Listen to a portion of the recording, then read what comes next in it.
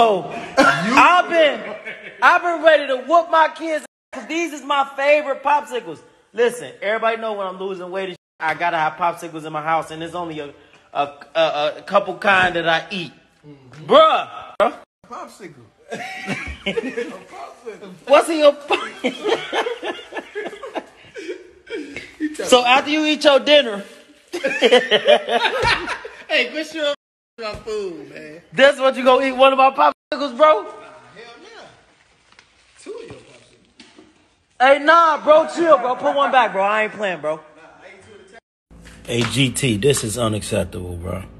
You might as well eat all the rest of the watermelon, bro. What you doing, bro? Again, so bad. He want to box again so bad, y'all.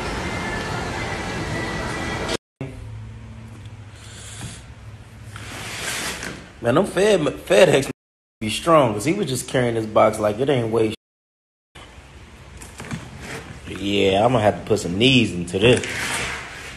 Oh,